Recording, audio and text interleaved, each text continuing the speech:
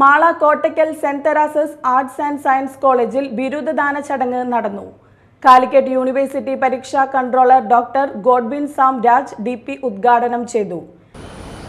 പ്രത്യേകിച്ച് ഇന്ന് ആഗോളതലത്തിൽ തന്നെ വിദ്യാഭ്യാസ മേഖലയിൽ സമഗ്രമായിട്ടുള്ള മാറ്റങ്ങൾ നടന്നുകൊണ്ടിരിക്കുന്ന ഒരു കാലഘട്ടത്തിലാണ് നമ്മൾ നിൽക്കുന്നത്.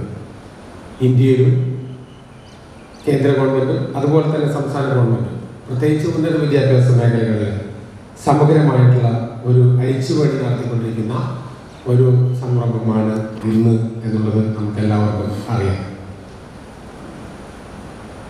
അതിന്റെ ചുവട് പിടിച്ചുകൊണ്ടാണ് കേരളത്തിലും ഉന്നത വിദ്യാഭ്യാസ മേഖലയിലെ സമഗ്രമായിട്ടുള്ള മാറ്റങ്ങൾക്ക് തുടക്കമിടാനുള്ള തയ്യാറെടുപ്പിൽ മുന്നോട്ട് പോയിക്കൊണ്ടിരിക്കുന്നത് നെക്സ്റ്റ് അക്കാഡമിക് ഇയർ മുതൽ കേരളത്തിലും ഒരു പുതിയ പഠന രീതിക്ക് തുടക്കം കുറിക്കാൻ പോവുകയാണ്.